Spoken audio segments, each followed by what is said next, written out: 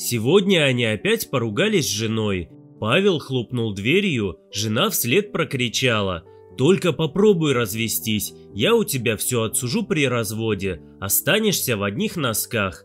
«Ну что этим женщинам нужно?» – думал Павел.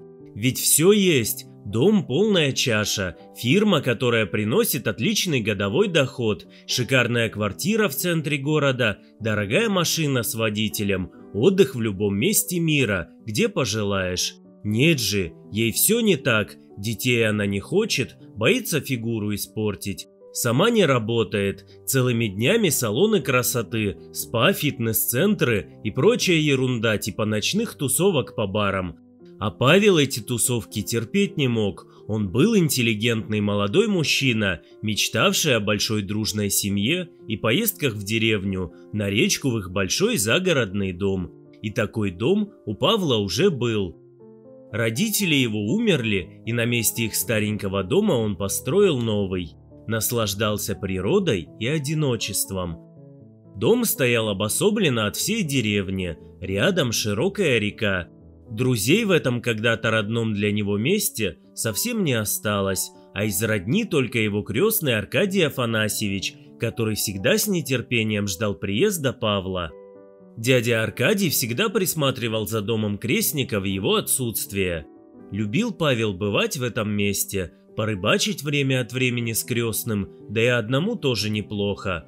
Лодка у него была хорошая, хочешь на веслах греби, Хочешь мотор поставь и рассекай по водной глади. Сегодня Павлу точно хотелось побыть одному.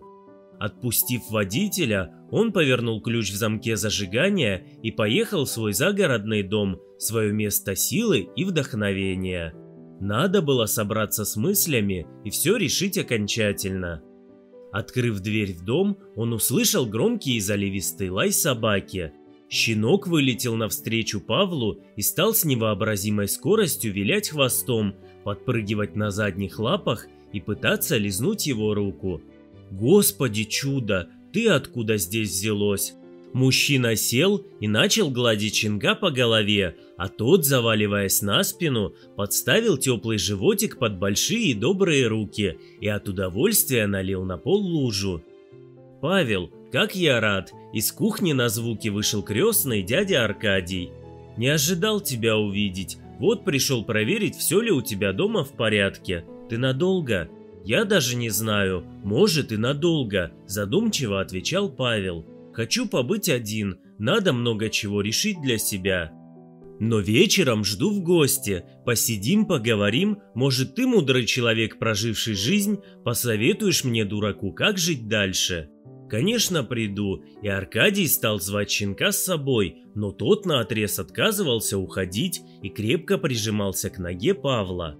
Он тебя выбрал своим хозяином, засмеялся крестный. Видишь, уходить не хочет. Так это не твоя собака, что ли? Удивленно спросил Павел. Я вечером за рюмкой чая тебе все расскажу, где я его взял. И Аркадий попытался подхватить щенка на руки – но тот ловко увернулся и спрятался за большим креслом. «Пусть остается до вечера, и мне не так тоскливо будет», – предложил Павел. На то мы разошлись. Мужчина затопил камин, разобрал пакеты с продуктами, которые по пути купил в местном фермерском магазине, и стал угощать щенка свежим творогом и молоком из-под коровы. Насытившись, щенок уснул на теплом полу у камина, положив голову на ноги Павлу. «Вот оно счастье!» – подумал мужчина, и больше ничего не надо. Вечером, сидя за столом, крестный поведал историю появления щенка в его доме. Несколько дней назад он решил пройтись на веслах, и прогулка и тренировка – два в одном. Река в этот день была тихая, как будто заколдованная, ни ветерка, ни шороха. Он наслаждался погодой и едва перебирал веслами. Вдалеке мелькнул бело-голубой катер, поднял волну. На катере шумно веселилась компания молодежи.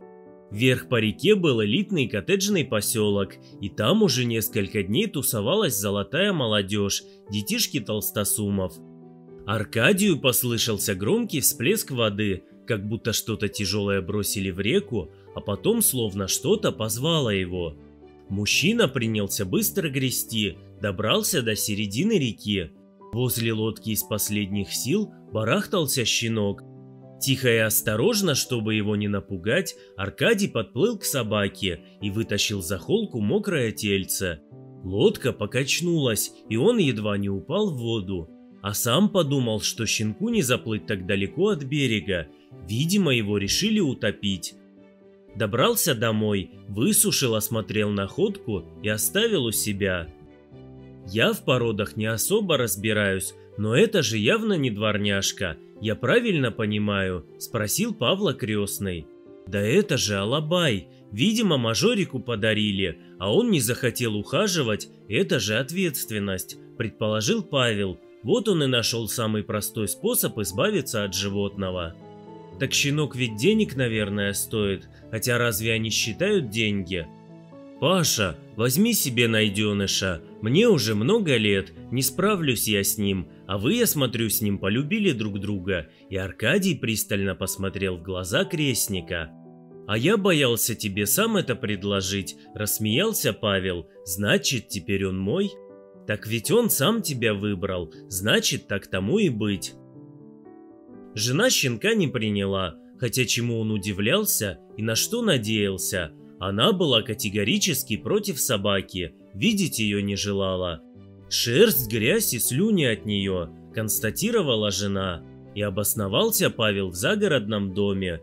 Главное, что в нем был интернет, и управлять своей компанией он мог удаленно.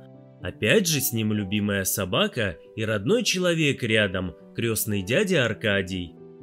Между тем на фермерском мясе, молоке и свежих деревенских овощах Собака выросла в красавицу молочного цвета с мягкой лоснящейся шерстью.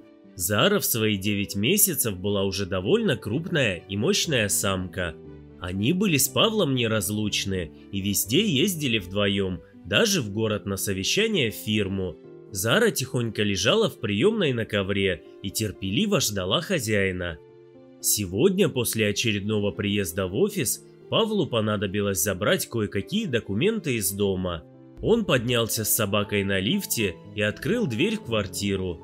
По звукам, доносившимся из спальни, он отчетливо понял, что жена не одна. Ему стало так противно, как будто его только что окунули в мерзкую вонючую жижу. Он бросил ключи от квартиры в прихожей и навсегда ушел из этого места. Мужчина гнал машину, что есть мочи, Скорее, скорее домой, чтобы забыть все это как страшный сон. Погода портилась, ветер усиливался и повалил снег. На скользкой дороге машина плохо слушалась руля, ее мотало из стороны в сторону. До деревни оставалось совсем близко. Он даже не заметил, как машину занесло на повороте, и она улетела в глубокий кювет. Очнулся он от боли и от того, что Зара шершавым языком вылизывала ему лицо. Так она привела его в чувство. За ворот пальто собака пыталась вытащить его на обочину дороги. Павел помогал ей как мог, отталкивался ногами от земли. И через какое-то время ей все-таки удалось это сделать. Мужчина лежал на обочине, глаза его застилали слезы, перемешанные со снегом. Тем временем Зара начала громко лаять, метаться вдоль дороги, привлекая к себе внимание и бросаться под проезжающие машины. Из остановившегося автомобиля вышла немолодая пара и отвезла Павла в ближайшую больницу. Отделался он переломом ребра и сотрясением мозга. Оказав первую помощь, его отправили домой залечивать переломы. А вот собака не пострадала совсем, как будто кто-то свыше ее уберег. «Замечательный у тебя друг», — сказал Павлу пожилой мужчина, который привез его в больницу. «Если бы не собака, твою машину, запорошенную снегом, с дороги бы никто не увидел. Береги ее, она тебе жизнь спасла. А машину придется сдать на запчасти». Через пару месяцев в своем загородном доме Павел вместе с Аркадием, Зара еще с одними своими спасителями отмечали его развод и покупку новой машины – от жены удалось отделаться малой кровью. Пожилой мужчина, новый друг Павла, пообещал познакомить его со своей внучкой, замечательной девушкой. «А что, может вы меня спасете еще один раз?» – Засмеялся Павел, чем черт не шутит. Понравилась история? Ставьте лайк и подписывайтесь на канал, впереди еще много всего интересного. Всего доброго!